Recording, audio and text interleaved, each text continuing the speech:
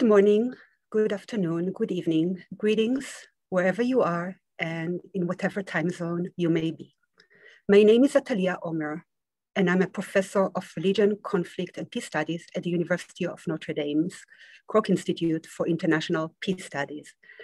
I am also a senior fellow with the Harvard Divinity School's Religion, Conflict, and Peace Initiative, where my esteemed colleagues are Professor Diane Moore and Hilary Rantisi. The Religion, Conflict, and Peace Initiative is hosting this event. Many thanks to Rima Tassi and Navi Hardin for a lot of logistics and hard work behind the scene. I want to start with a few brief words about the Religion, Conflict, and Peace Initiative. A part of the new Religion and Public Life program, the Religion, Conflict, and Peace Initiative centralizes an analysis of structural injustice, violence, and power, and examines how a more capacious understanding of religion can yield fresh insights into contemporary challenges and opportunities for justice-oriented peace building. The primary case study we are focusing on is that of Palestine-Israel. Our aim is to stretch the scholarly discourse around religion and the practices of peace building and examine the decolonial potentialities of art, religion, and identity transformation through rewriting social and political and religious scripts. With this framing in mind, and also with an acute awareness that the outcome of the elections held today in Israel, the fourth in two years, will likely result in the most extreme ethno-religious centric coalition in Israel's history. Nevertheless, we are going to hold a wonderful conversation today. Rabbi Brant Rosen has been in the past year a Topol Fellow in Conflict and Peace with us here at the Religion, Conflict and Peace Initiative at Harvard. Rabbi Rosen is the founder of Tzedek Chicago, a non-Zionist Jewish congregation based on the core values of justice, anti-racism, and solidarity with the oppressed including Palestinians. The event today, as we are approaching quickly the Jewish holiday of Pesach or Passover, emerges out of his fellowship's project, which involves writing a book of new Jewish prayers, which reimagine Jewish liturgy through values of liberation, the prophetic imperative to speak truth to power, and a diaspora based vision that interprets the entire world as the Jewish homeland. Rabbi Rosen will engage here in a conversation with the most fitting and perfect interlocutor. Professor Susannah Heschel is the Eli M. Black Distinguished Professor of Jewish Studies at Dartmouth College, uh, where she is also the chair of the Jewish Studies Department. In her numerous publications, she has intervened in multiple scholarly conversations, including the modern history of Jewish and Protestant thought, the history of anti-Semitism, and Jewish feminist ethics. Those of you who registered in advance may have had a chance to read two short documents. One by Rabbi Rosen titled Toward Judaism Beyond Zionism, and the other an essay by Professor Heschel published recently on the Contending Modernities blog based at the University of Notre Dame entitled Ending Exile with the Prophetic Voice of the Diasporic Jew. These documents just offer a bit of a background to the structure of the conversation that is about to unfold here. Let us now proceed, but before we do, I wanted to acknowledge my presence here in South Bend, Indiana, on the traditional homelands of Native peoples, particularly the Pokagon Potawatomi, who have been using this land for education for thousands of years and continue to do so. So uh, let us begin with um, uh, uh, and maybe I should invite the participants to turn on their camera so that I'll not speak to darkness. Um, all right, so let, let's start with um, uh, Rabbi Rosen. Um, and I would like to invite you to explain what led you to your effort to reimagine Jewish liturgy through an anti-militarist, emancipatory, post-nationalist, and Palestine solidarity prisms. Where did the need come from? Can, and also, can you offer specific examples of your poetic and liturgical innovations and and share with us a bit about your, the, your interpretive process uh, that you employ in rewriting Jewish communal meanings. Thank you, Atalia. And uh, before I begin, I just want to uh, express my gratitude uh, for being able to be part of this uh, session, uh, particularly to the Religion, Conflict, and Peace Initiative at Harvard. And it's been uh, it's been such an important place for me this past year. its support of my work, getting to know the other members of the fellowship has been a really tremendous experience for me and led to all kinds of areas I never would have dreamed of as I began to do this work. Um, and so thank you to, uh, to Atalia. I'm also just so pleased to be able to be uh, sharing this uh, webinar with Susannah as well. So uh, just a little bit of background. Uh, we founded Tzedek Chicago in the spring of 2015. So we're in the middle of our sixth year. And we founded the congregation really, uh, I think for just a very basic reason. It was originally intended to be a congregation for Jews who did not consider themselves to be Zionist or who consider themselves to be actively anti-Zionist. Uh, just about every liberal Jewish congregation uh, in the country, in the United States and North America, is what I would call Zionist by default uh, in many, many different ways. It's manifest in many different ways, and we can talk more about that if people are interested. Uh, but for people who for whom this was not just a matter of uh, of style or or taste or opinion, but for whom we were really not uh, willing to to participate in a in a fusing of Jewish spiritual tradition with a settler colonial enterprise, uh, with an ethno national uh, political project it felt like there was just no place for us. And so together with a number of people who were members of my previous congregation in Evanston, Illinois, and others uh, in the community, people who we, we knew one another who had never really been part of a congregation for this reason, we founded Tzedek Chicago. And we did that with uh, initially by cra crafting these core values to which you alluded, Atalia. Uh, we wanted to be very clear before we uh, recruited our first member before our first member uh, joined the congregation that we were very very clear uh, that we were an intentional community uh, so it was very clear that our our approach to uh, being non-zionist our our status of being non-zionist was part of a larger anti-militarist anti-colonial anti-racist uh, frame for our congregation so early on, we really began to realize that it wasn't enough to simply say we're not Zionist. Um, and we began to explore almost from the outset what that would really mean in a religious congregational context. Uh, and also uh, many, of, many of the people in the congregation are active in the Palestine Solidarity Movement and had a political outlets for this work. So if standing in solidarity with Palestinians as a Jew was something more than simply a political issue, but really something we understood as a religious imperative, we needed to explore what that meant. Uh, and so that's when the, the liturgical aspect uh, began to emerge. It, it, was manifest in many different ways, but in terms of the prayers that uh, I began to craft, uh, it became clear to me that Zionism has left an imprint on Jewish liturgy in, in lots of direct ways and lots of indirect ways.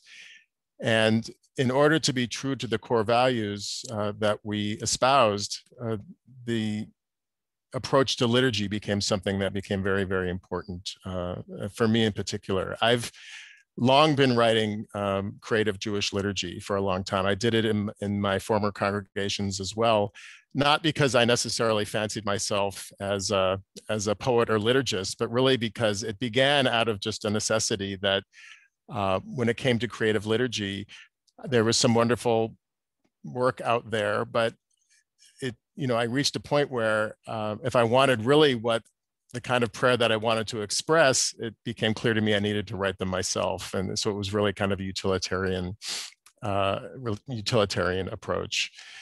So there are many different ways that this is manifest in the liturgy that we've been using in the congregation. Uh, it's the, the liturgy that I'm referring to has largely been in English, although there have been some examples of it in Hebrew as well. And uh, I think maybe the best way for me to, uh, to explain my approach and the way that these values, these core values are expressed through these prayers is to share a few of them with you. So uh, the first one I want to share uh, is, uh, since, uh, as you mentioned, Atalia, that the, the holiday of Pesach, of Passover is coming up uh, beginning this weekend, I thought I would share a, a prayer that I wrote uh, several years ago Uh, for, for use on Pesach. And it's a, just to give you a little bit of an introduction, it's a, uh, a version uh, from the Haggadah that has to do with children asking questions. In the Torah, it mentions at the very first commandment to keep the Seder in Egypt before the Exodus that uh, God says to Moses and the Israelites that when your child asks, what is the meaning of this, you will explain to them. And that became in many ways the foundation for the, the Seder experience writ large, that uh, it is really a series of questions. So I will share my screen now with you. Um, and this is a, a prayer entitled, Your Child Will Ask. Your child will ask, why do we observe this festival? And you will answer, it is because of what God did for us when we were set free from the land of Egypt. Your child will ask, were we set free from the land of Egypt that we might hold tightly to the pain of our enslavement with a mighty hand? And you will answer, We were set free from Egypt that we might release our pain by reaching with an outstretched arm to all who struggle for freedom. Your child will ask, Were we set free from the land of Egypt because we are God's chosen people? And you will answer, We were set free from the land of Egypt so that we will finally come to learn all who are oppressed are God's chosen. Your child will ask, were we set free from the land of Egypt that we might conquer and settle a land inhabited by others? And you will answer, We were set free from the land of Egypt that we might open wide the doors to proclaim, Let all who are dispossessed return home. Let all who wander find welcome at the table. Let all who hunger for liberation come and eat. And just to give you a little bit of a background of some of the, the imagery here, uh, the first question really comes directly from the Torah. Uh, you will answer it is because of what God did for us when we were set free from the land of Egypt. And then I uh, expanded outward, um, really going from the, as you can probably sense, from the particular to the universal. And uh, our universalism is, is a very important part of the core values of our congregation, that um, we do not understand these rituals uh, and these prayers and really Jewish tradition as a whole uh, to only be about us. Uh, and particularly when we talk about the core uh, narrative of liberation, uh, that we use our narrative of liberation as a way of expanding outward to understand our solidarity with all who seek liberation. Um, the, the reference to holding on to the pain of our enslavement with a mighty hand really is a, um, maybe not so uh, oblique reference to the ways in which uh, Israeli society in particular is um, a traumatized society.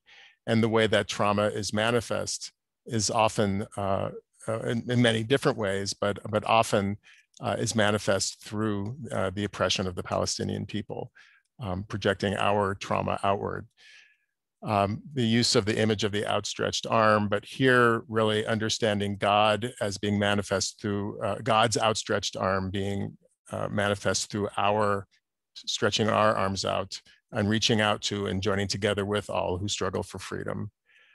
Um, the idea of uh, that all who are oppressed are God's chosen.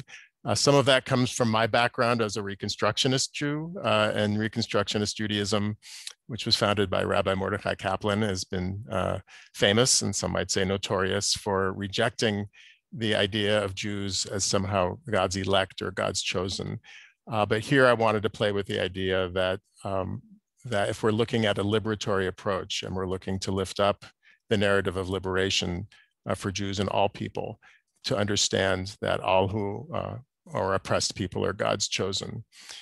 And then um, a very uh, a very direct reference to not only uh, what's going on in Israel Palestine, but uh, this final this final question really was my attempt to um, reckon with the conquest tradition in the Torah because the Exodus story is not only about the Exodus from Egypt, it's about the Exodus of the Israelites out of Egypt so that they may go into a land, dispossess its inhabitants of uh, the Canaanites of the land, uh, and settle it uh, through the command of God.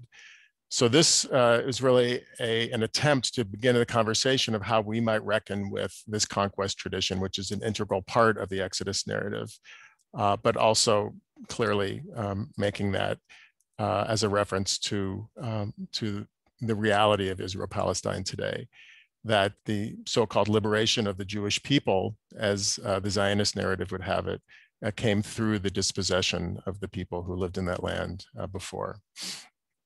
So that's uh, one example. And I will share now another prayer. And this is uh, a prayer for Nakba Day. Uh, so one of the ways that congregations, as I mentioned before, are Zionist by default is that uh, many holidays, which uh, are really Israeli holidays, holidays that were instituted by, uh, by Israel after its founding in 1948, uh, have become a very regular part of the American Jewish uh, religious calendar. So in particular, Yom Ha'atzmaut, uh, Israeli Independence Day, is, uh, is a regular part of American Jewish ritual along with our ancient festivals. Uh, Yom HaZikaron, Israeli Memorial Day is another example of that. So rather than understanding the founding of the state of Israel in as uh, as a form of redemption for the um, for the uh, Jewish people, uh, we understand uh, this, as I mentioned before, as coming at um, uh, coming on on top of those who were living in the land previously, the Palestinian people. And Nakba Day, Nakba being the day that Palestinians referred to as the day of their catastrophe, of their dispossession, uh, we feel that it's important to mark this time not as a redemptive liber liberative time for the Jewish people, but rather a time to reckon with the meaning of this dispossession, um, both in terms of us understanding it, understanding the history of it, um, being honest about that, but also uh, bringing in the concept of tshuva, of, uh, of Jewish repentance, and ultimately pointing toward reconciliation, that that is really the meaning of this time um, for, for the Jewish people. So this prayer that I wrote is a Jewish prayer for Nakba Day. I'll read it first and then unpack it. La'el shachafetz tshuva, to the one who desires return. Receive with the fullness of your mercy the hopes and prayers of those who were uprooted, dispossessed, and expelled from their homes during the devastation of the Nakba. Sanctify for tov uvracha, for goodness and blessing, the memory of those who were killed in Lydda, in Haifa, in Beisan, in Deir Yassin, and so many other villages and cities throughout Palestine. Grant chesed v'rachamim, kindness and compassion upon the memory of the expelled who died from hunger, thirst, and exhaustion along the way. Shelter beneath Kanfei Hashchina, the soft wings of your divine presence, those who still live under military occupation, who dwell in refugee camps, those dispersed throughout the world, still dreaming of return. Gather them, may our Kanfota Aretz, from the four corners of the earth, that their right to return to their homes be honored at long last. Let all who dwell in the land live in dignity, equity, and hope so that they may bequeath to their children a future of justice and peace. Vinomar, and let us say, Amen. Le'el shachafetz tshuva, to the one who desires repentance. Inspire us to make a full accounting of the wrongdoing that was committed in our name. Help us to face the terrible truth of the Nakba and its ongoing injustice, that we may finally confess our offenses that we may finally move toward a future of reparation and reconciliation. Le'el Malei Rachamim, to the one filled with compassion. Show us how to understand the pain that compelled our people to inflict such suffering upon another, dispossessing families from their homes in the vain hope of safety and security for our own. O Oseh HaShalom, maker of peace, guide us all toward a place of healing and wholeness, that the land may be filled with the sounds of joy and gladness from the river to the sea speedily in our day. Benomar, and let us say, Amen.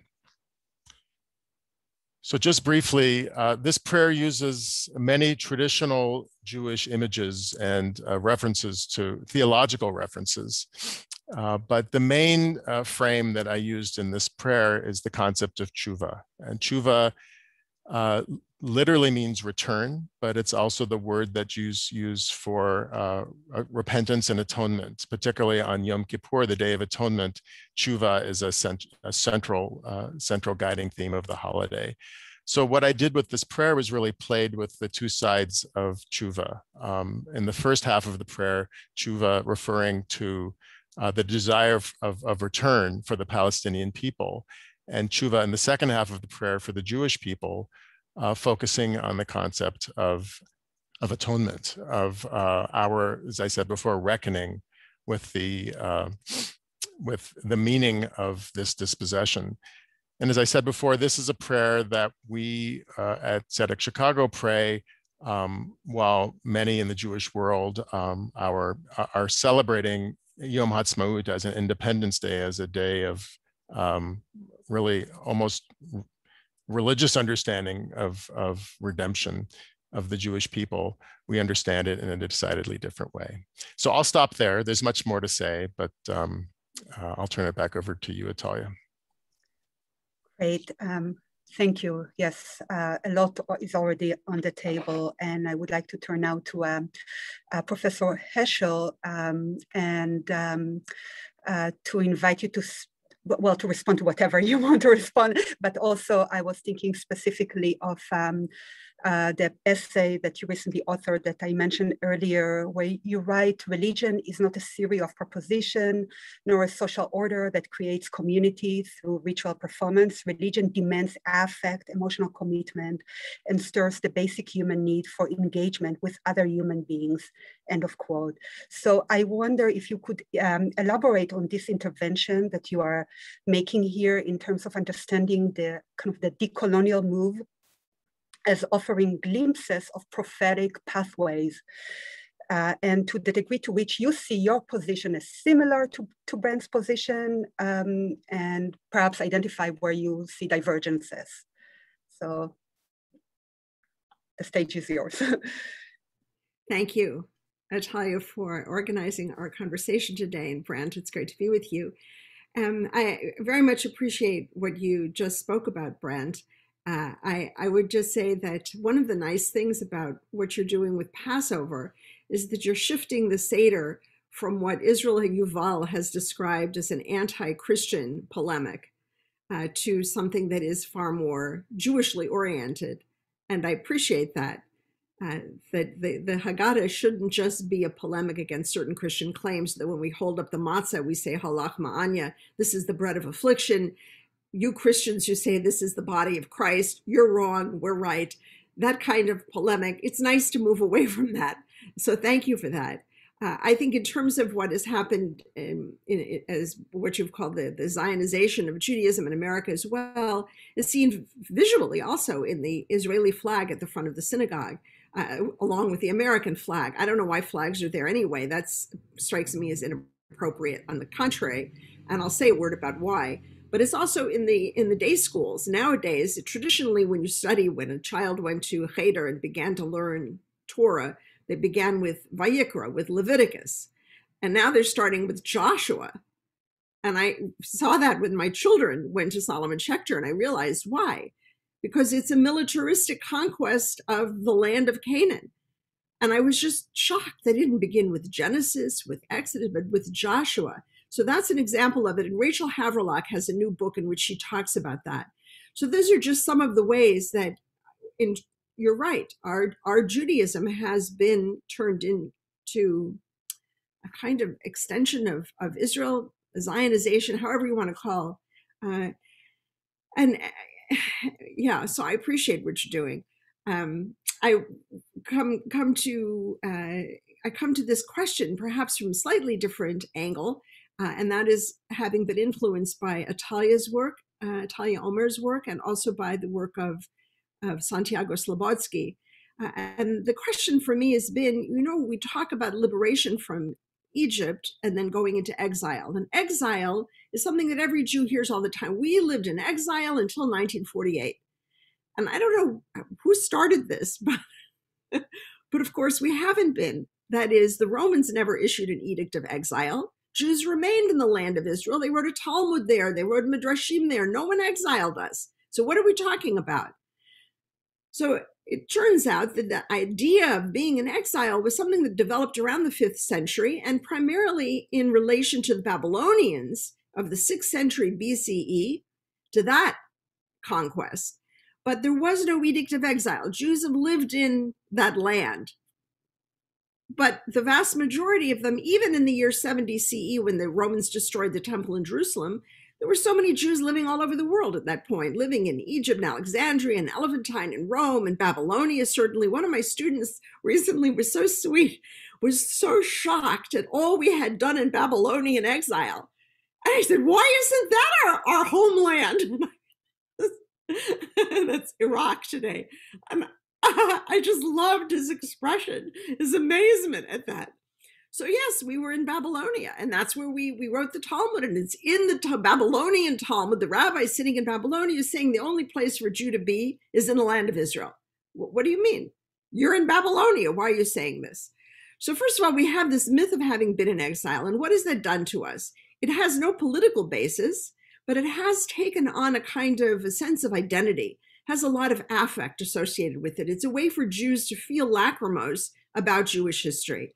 And it's that internalization of a feeling of exile, the affect of it, that's very problematic. It's very problematic. And I actually would also say that those Zionist thinkers who thought that moving to the land of Israel and establishing a state would be a, a negation and an end of exile, they're wrong. And my father actually talks about this that Israel itself is in Golis. What is Golis? What is exile? It means uh, on the day of of on the celebration of Independence Day when they have parades, they have tanks and and jet fighters. That's Golis. What does that mean? It means where are the values? Where are the Jewish values? Precisely what you're talking about, Brant. What do we stand for? Do we stand for tanks and planes? What do we stand for? And so, I, at first, Atalia's work and then uh, Santiago's work what I liked was the formulation. First of all, I very much appreciate Atalia demonstrating that religion has to be present for political purposes, that there is no divorce between the political and the religious. And she shows that very clearly. And you exemplify that too, Brant. And then Santiago comes in from, from South America, from Argentina, where there's a vital Jewish community, by the way, that nobody seems to pay much attention to, unfortunately. But he comes with his marvelous voice and talks about the global South. And he talks about all kinds of interesting thinkers in the global South that really need to be part of our conversation in Jewish thought. And he talks about a decolonial Judaism, meaning we in Jewish thought, whether we talk about Buber and Rosenzweig and Levinas and Moses Mendelssohn and so on, there are all these European thinkers who are engaged with European Western Christian ideas and either to refute Kant or to accept Hegel or whatever you want to do, it's time to get away from that. And he says, you know, what are these Europeans doing? They're colonizing the world. 85% of the landmass of Earth was under colonial domination by the First World War. So Santiago says, we as Jews, instead of worrying about trying to talk about the Christians and the European, the West, uh, let's instead identify with the barbarians. The barbarians, namely the people that were viewed as barbarians by this Christian Western imperialist mentality. Let's identify as Jews with those people and see where it leads us. Because, in fact, Zionism has identified with the European Western notions of the imperial and the colonized and so forth by trying to take us we as Jews take ourselves out of having been colonized by the West, having been deprived of sovereignty, and now establishing sovereignty, we've simply taken ourselves out of having been the victims of Christian supersessionism to be identifying with those supersessionists. So, how can we then develop a Judaism that identifies with the so-called barbarians? And that's that's what's interesting to me, and that's where I see our connections for the, the three of us, and I'd bring in Santiago as well. Yes, wonderful. And I hope Santiago is somewhere there in the um, cyber audience and he's listening uh, to this conversation. Um, and I, I, I, want to invite Brant to respond to whatever kind of um, uh, you know generated reaction for you um, in um, uh, Susannah's remarks and also ask you, uh, since I'm aware that we are actually, we are very short in time, um, I would like to ask you to um, um, to uh, speak a little bit about the degree to which reimagining Jewish liturgy as you've been engaging in, um, um, and also re reimagining Jewish community, specifically American Jewish community, uh, is relational uh, and directly connected to your to your sense, or, or, maybe unpack a little bit more since you you you shared with us the the Nakba prayer, uh, your sense of Jewish complicity and atonement uh, and responsibility to what is done in your name. Uh, so it's not about you know injustice in general, but it's injustice that is specifically related to Jewish power. Uh, so I wanted I want to invite you to um, uh, to speak uh, a bit more about that, and also um, uh, recognizing that one of the challenges of Jewish rescripting is to um, also disengage from um, kind of this Jewish assimilation into whiteness, which also relates to what Susannah just said. Um, and, and this also requires kind of an interrogation of the marginality of Jews of color um, and non-Ashkenazi Jews or non-European Jews. And so to what degree um, uh, such kind of intra-Jewish scrutiny is relevant for a liturgical and communal reconfiguration that, that you are a part of. You are one kind of author in that process of um, rescripting, uh, which relates to, um, to many of the points that Susannah kind of highlighted. Sure. So um, to Susannah's first point, you know, I, I, think I've been thinking a great deal about um, this, you know, the Lachrymose vision of, of Jewish history and, and what what this notion of exile does to us in a in a spiritual cellular kind of way. Uh, and I think Zionism really lifted that up in a very big way with their concept of Shlilat HaGalut, you know, that they saw the, the, the, what they call negation of the exile, that they saw the diaspora as just a thoroughly inhospitable place for Jews to live, and that the only place uh, for Jews uh, to really fulfill their future as as Jews, both physically and existentially, uh, was was the land of Israel. Um, and I, have been thinking a great deal uh, too about the idea of galut or exile versus the idea of diaspora which I think are are different. And I, I, prefer to use the word diaspora actually, and, and to think of what we're doing at Tzedek as is a diasporist approach to Judaism. You know, um, exile, as you as you put it, Susannah, it implies that we are somehow cut off. That to be Jewish means to be cut off from our source. And you know the it also means to be vulnerable. You know, the word galut comes from the, the, the verb that means exposed or open or vulnerable or naked. You know, um, it's the same word that was used to refer to Noah in the book of Genesis when uh, he was naked, you know, he passed out naked in his tent. Um, and that, so that has a certain connotation. The diaspora literally means scattered. I mean, it literally means we are uh, of, of the world. And as you put it, you know, the world Judaism as a as a tradition really was born in the diaspora. It's an inherently diasporist uh, uh, approach to understanding our place, and you know Babylonia being uh, one of the many important foci of of that world. And so I I'm thinking a great deal about this concept of diaspora and understanding as, of diaspora as diaspora as homeland. Paradoxically, you know that um, one of the the, the real beauties of Jewish tradition and Jewish life is that we are this multi-ethnic, multicultural, transnational people. And that's what's kept us alive, uh, which is in many ways so unique. Um, more recently, there's been studies in, in diaspora studies of diasporas of, of other peoples as well. And I think diasporas vary from uh, from people to people, and even within Judaism, I don't know if it's. Know, I, I want to interrupt for just mm-hmm. a second, if you don't mm-hmm. mind. Okay. Sure. Mm-hmm. So, what I want to clarify is just one thing, which is that what I wrote for the blog that Atalia Omer edits called Contending Modernities. And what I distinguish there, and have a look at it when you have a minute, is between exile and diaspora is the following. I identified a diasporic position as the prophetic position. A prophet is not a sovereign by definition. And a prophet cannot be in exile or there is no real voice. There's a voice perhaps of lament, but not of a call of prophetic justice to the sovereign. So it's really only in the position of diaspora, that is, one who is present, not in power, but also not excluded, but present. That is the position of the prophet.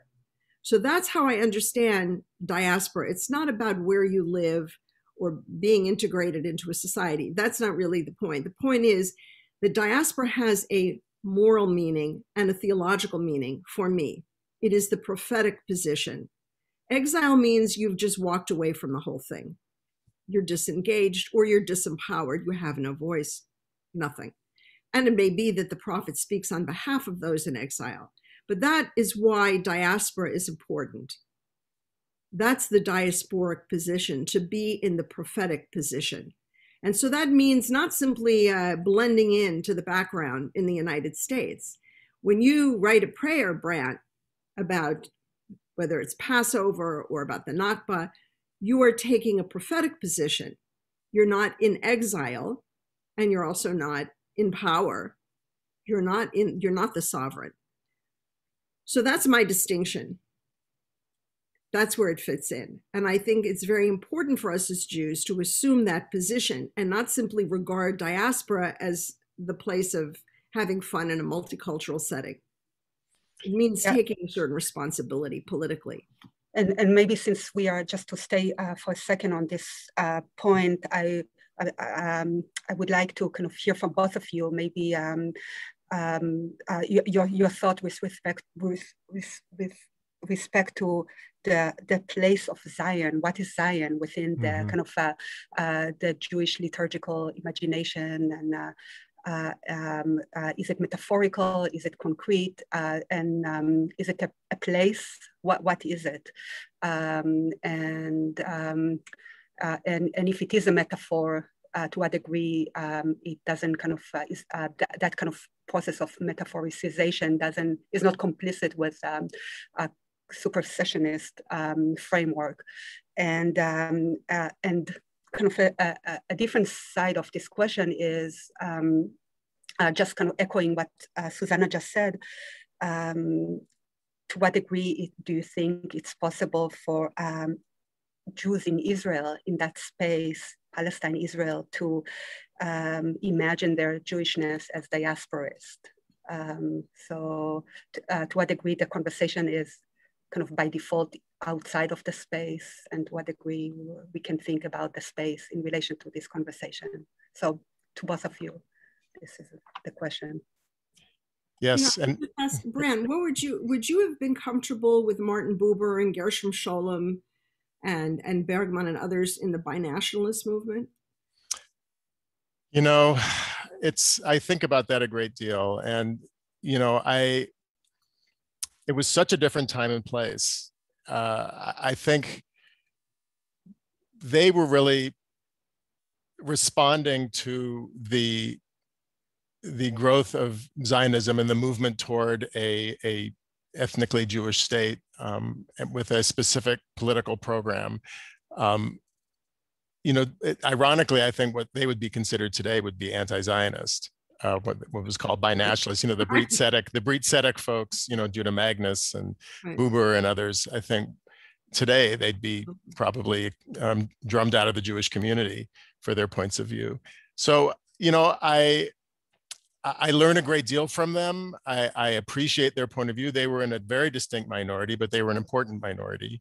Um, you know, I think a great deal about Hannah Arendt's warnings before, on the eve of the, the establishment of the state, saying, you know, Israel's going to become this Sparta in the Middle East, this Jewish Sparta in the Middle East. And it's amazing how prescient her words were.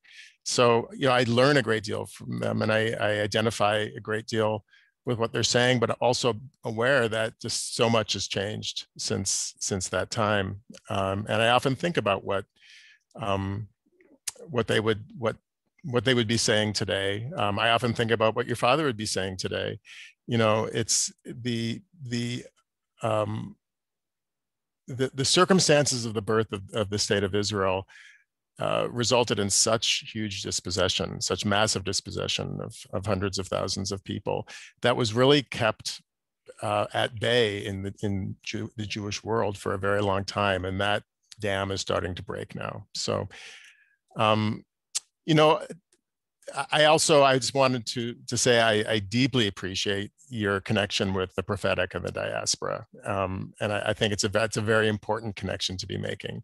Um, I, I, think within Israel, I know there are, I think there are Israelis that are um, prophetic in that way. You know, to Susannah's point that, you know, Israel is in many ways living in a kind of an, a galut experience itself. I think speaking truth to power um, can happen in many different places, and it does happen in Israel. I think it's a, a very distinct and embattled minority, um, but there are Israeli galut prophets, you know, or diaspora prophets, I would say. Um, just briefly to your, your question, Atalia, about Zion, you know, Zion is a very rich metaphor, um, and it's understood in many, many different ways. Um, you know, it uh, it refers, yes, to a very specific place, Jerusalem, or even a mountain in Jerusalem, but it also, in the rabbinic imagination, refers to wisdom. It refers to the Jewish people. Uh, you know, Zion has taken on many, many different layers. And one of the things that the Zionist movement, when it began, it coined itself as Zionism, it really conflated all of those metaphors into a, the most specific literal physical meaning of that term. Um, and to both reclaim what Zionism could be as a metaphor, as you were saying, that Zion can, uh, you know, can exist anywhere as an idea. You know, the rabbis talked about Yerushalayim shel Mata and Yerushalayim shel Ma'alah, that there's a, an earthly Ju Jerusalem and a heavenly Jerusalem. And, um, you know, you might say that Zionism has become so fixated on Yerushalayim shel Mata that the notion of a of a more transcendent Zion, of a more uh, of a, a, Zion that could exist wherever we might live uh, in the world, uh, um, wherever we are uh, speaking prophetically to power, as Susannah is suggesting, um, is, uh, is something that we can and should be affirming.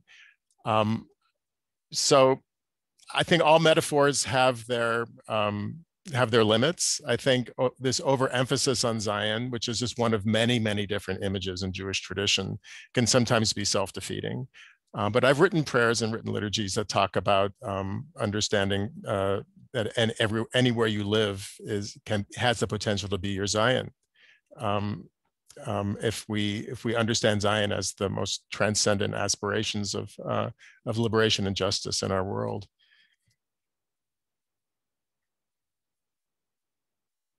Susannah, do you want to also speak to this point?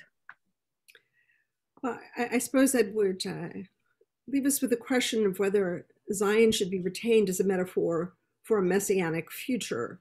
Mm. That is, does it have a role in a messianic future that is a future of justice for all? Uh, I personally am drawn to the binationalists. In other words, if Israel were a binational Jewish Arab state with equality for all of its citizens, a democratic state, would I have a problem with it at that point? I don't think so. Me neither. yeah. And in some sense, I think that with all the criticisms that we have of Israel and of the Zionist project, there are some simple things that can be done to correct. It's not a disaster. It can be corrected. In other words, I don't think it will be in our lifetime. But yep. yes, but that's the question. So is Zion a metaphor for the future, for messianic future? Does it have a place? Does it evoke the kind of image of justice that we hope for, or does it need to be detached from the prophet's dream of world peace? I would say messianic, not necessarily, necessarily the way that the rabbis of old defined the messianic kingdom, but also not the, messi- the messianic world that the Zionist movement is trying to um, embody in political nationalism, but a different kind of messianism, as, as yeah. you're saying. You know, um, it, it just I'm often struck that just the mere suggestion that everybody who lives between the river and the sea should be a citizen with equal rights is considered uh, heresy in, in, the Jewish world, you know, in the organized Jewish world. That shows how um, far away from that messianic ideal we've, we've we find ourselves.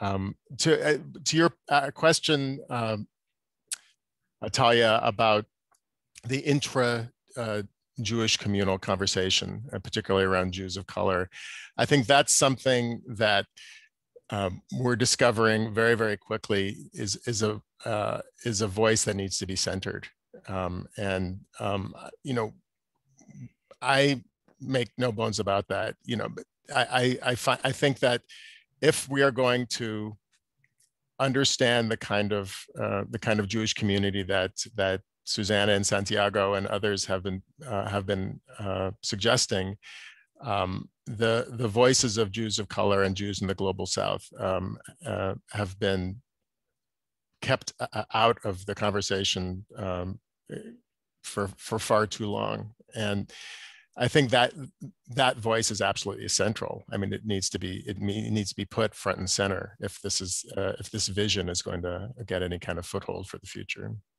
Yeah, and I personally would also add, um, you know, the the kind of global south that exists in within the Israeli framework itself, and that includes also, you know, the inhabitants of South Tel Aviv, for instance, um, thinking about the experience of Arab Jews uh, and non-Ashkenazi Jews. Uh, within that broader kind of ideological framework, because often they are, you know, they, they could be potential uh, allies uh, and uh, co-resistors um, and often are kind of precluded from thinking about uh, liber liberationist and emancipatory um, visions. So um, there are quite a few questions lined up um, in the Q&A.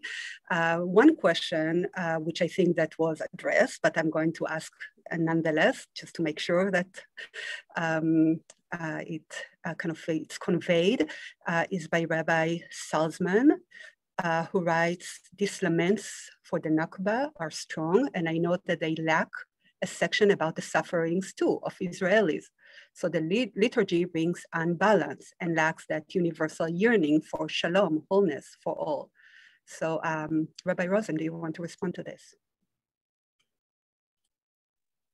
Yes, you know, um, I think part of my approach in that prayer was going on the assumption that uh, Israeli yearning and Israeli pain and Israeli uh, sense of suffering has uh, been foregrounded exclusively in the American Jewish community. And so, on one level, I think by writing that prayer, I was attempting to rewrite that balance.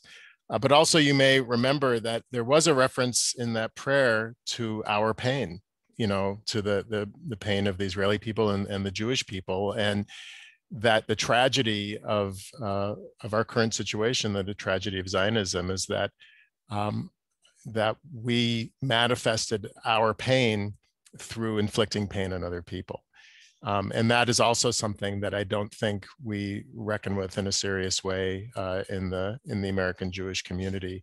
So if it feels unbalanced, yeah, I, I, would I would cop to that to some extent. But it's really because I'm trying with this liturgy to uh, suggest uh, a recalibration of our understanding of what our moral responsibility needs to be. Great. And um, uh, there is another question here from uh, Judith Bills who asks, um, who writes, uh, many social justice movements, civil rights, apartheid, anti-apartheid, I'm assuming um, um, are examples, required a major moral reckoning and reorientation within powerful majority religious traditions. Do you draw lessons from that experience that informs how your work might have broader impact over time? I'm not sure I completely understand the question. I, I think that the question is about what what other uh, maybe struggles mm-hmm. um, that deploy kind of um, um, religious and moral uh, reckoning. For instance, the anti-apartheid. Mm-hmm. Do you mm-hmm. draw on and how? Mm-hmm. And uh, yes, I mean I, I and this goes to what I was saying before about when we began the congregation, there was a sense that this was not just a political issue, but that this was a, a religious moral issue. Um, and, you know, we have people in our congregation who would otherwise define themselves as secular, but I think are drawn to the congregation because they their sense of trying to engage with this issue has a needs a deeper outlet. So I, you know, I I think it's clear that every you know every movement for liberation, I think in human history, on some level, has um, there's a religious there's a religious component or foundation to it. The, the, civil rights movement in this country would would have been unthinkable without the role of the Black Church, for instance, um, or in in South Africa, or you know in places around the world. I'm not saying it's a you know to to somehow bifurcate religion as a separate category is problematic but understanding as a Jew um, the the the concept of struggle against oppression and liberation, not just uh, through a political lens, but through the lens of our most sacred story, the, ex, the Exodus story, um, is is something that comes very naturally. Um, and uh, so, yes, I, I I have great respect for the religious dimension of liberation struggles throughout history. And on, on a, in a very real way, I think that's something we're trying to do in our congregation. Well, so many of those struggles for liberation have also picked up on the Exodus, and that's really quite remarkable. Uh, as Michael Walzer has shown and others, uh, I, I, find that um, I find that extraordinary, and I find it unfortunate in certain countries that it didn't happen. And I'm thinking of Germany here. Uh, I also would say that uh, clearly, I mean, look, um, I don't know of a country whose government I like at the present time. In fact, uh, I dislike, I would say, almost everybody who's in power at the moment. I'm trying to think of whether there are some, I guess New Zealand is becoming a favorite. But uh, I, I have to say that uh, there is something a little bit um,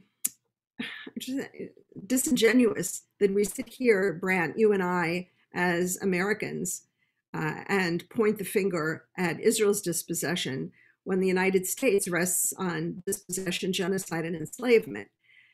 So, uh, who, who, do we think we are? And are we using Israel, in fact, to cover up uh, our own crimes and sins, uh, to hang it as a kind of curtain so that we don't have to look at ourselves?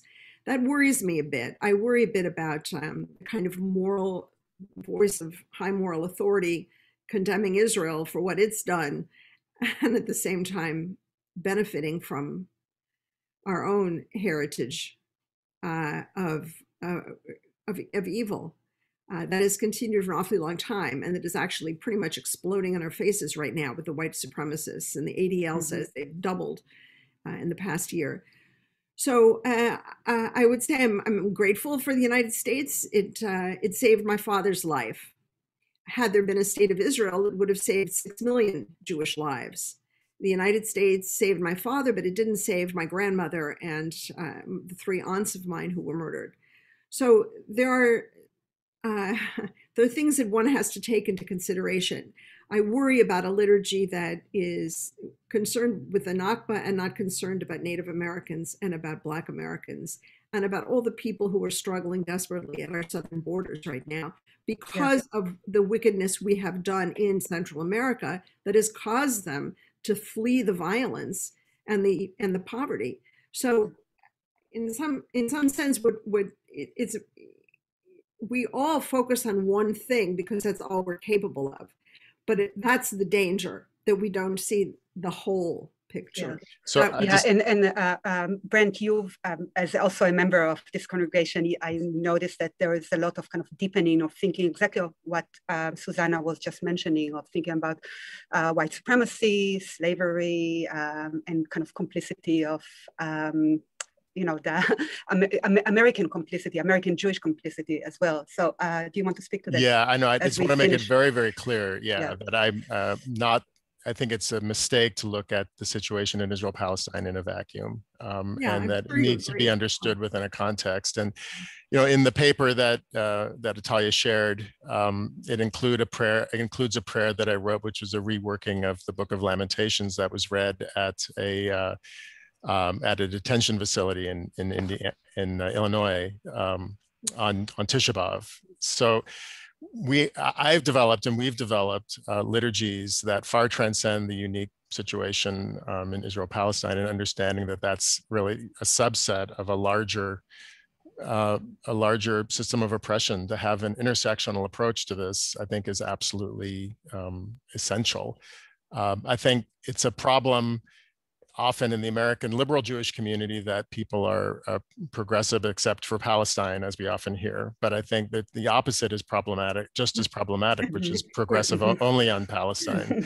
You know, uh, and you can work out those acronyms for yourself. Yeah. Um, you know, but no, I think Susannah, your point is is absolutely well taken and essential. That we need to be able to understand the situation in Israel Palestine in the larger context if we're going to be doing this work. Yeah, yeah, I know that we agree about this. Mm-hmm yeah.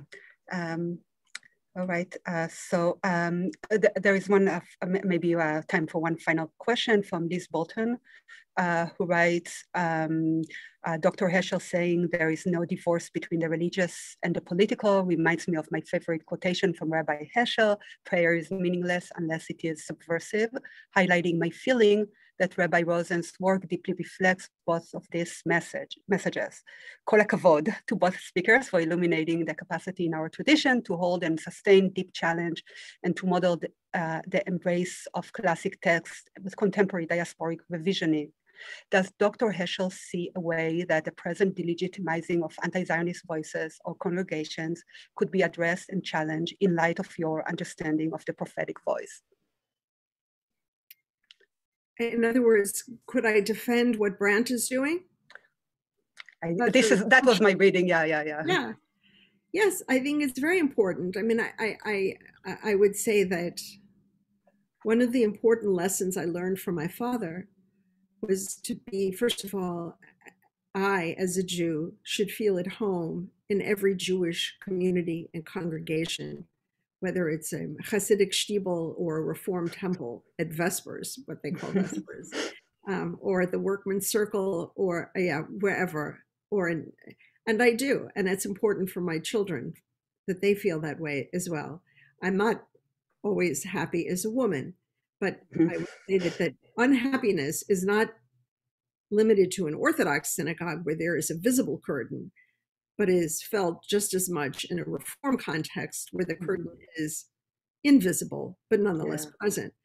Mm-hmm. But so I think, Brant, uh, what you're doing, uh, and Atalia, what you've written about in your book, uh, is very much illustrative of what Santiago Slabodsky calls us to think about in his book, Decolonial Judaism.